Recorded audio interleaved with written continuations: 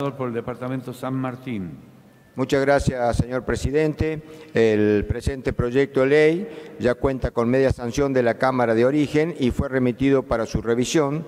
Tiene como objeto modificar la Ley 7887-15 de kioscos escolares saludables. El panorama actual, como es de público conocimiento, en todos los países del mundo están afectados por una o más formas de malnutrición y combatir la forma de malnutrición es uno de los mayores problemas sanitarios en la escala mundial. La alimentación no saludable, es decir, el consumo habitual de productos procesados y ultraprocesados con un alto contenido calórico y bajo valor nutricional que tienen elevados niveles de azúcar, de sal y grasas no saludables, contribuye de una manera muy importante a una epidemia de sobrepeso, obesidad y otros trastornos endocrinos y nutricionales, también como a mantener deficiencias en los nutrientes esenciales. con su consumo visual ha hecho que en América sea la región con mayor prevalencia de sobrepeso y obesidad en el mundo. Es por eso que este, y por este motivo los países miembros de la Organización Panamericana de la Salud, como también de la Organización Mundial de la Salud, se han comprometido, entre otras acciones, a legislar para hacer frente a esta verdadera epidemia.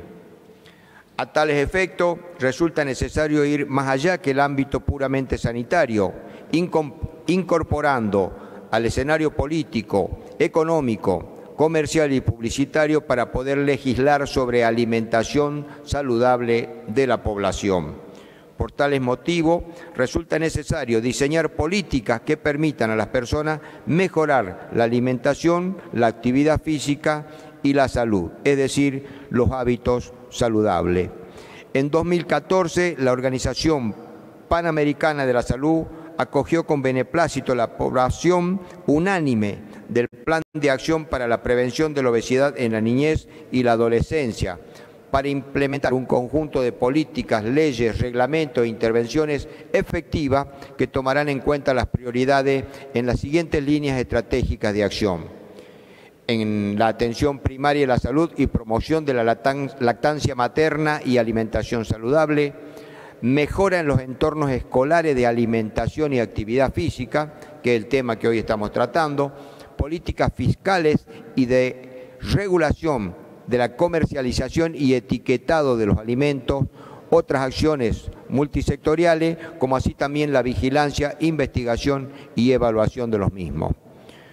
Por su parte, la Organización Mundial de la Salud hace un llamamiento para que se adopten políticas en distintas esferas de acción, como crear sistemas alimentarios sostenibles y resilientes en favor de los regímenes alimentarios saludables, proporcionar protección social y educación nutricional para todos, armonizar los sistemas de salud y las necesidades de nutrición y proporcionar cobertura universal a las medidas nutricionales esenciales.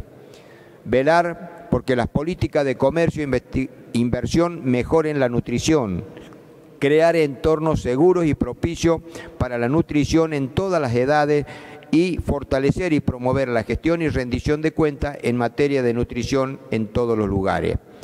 En ese sentido, las modificaciones propuestas tienden a fortalecer la legislación provincial vigente en esta materia, promoviendo el acceso a una alimentación saludable de la población, contribuyendo a profundizar la construcción de políticas de Estado que perduren en el tiempo y que se arraiguen en nuestra sociedad para tener vidas más saludables y próspera.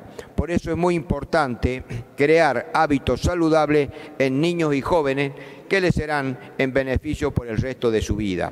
Por todas estas razones expuestas y con el convencimiento que la presente modificación redundará en beneficio para la población en su conjunto, solicito a mis pares el acompañamiento y la aprobación de este proyecto. Muchas gracias, señor presidente.